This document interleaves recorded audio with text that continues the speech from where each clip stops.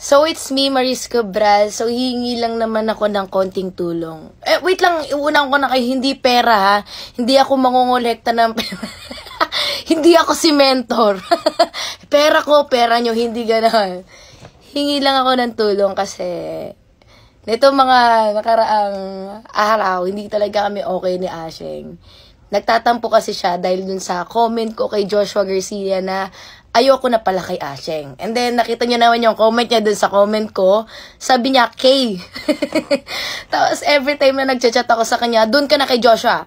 So, gusto ko pumunta kayo sa account ni Asheng and then sabihin niyo sa kanya na miss na miss ko na siya and sorry na. I love you so much.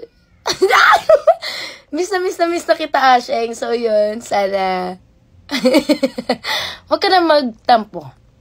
Ketik.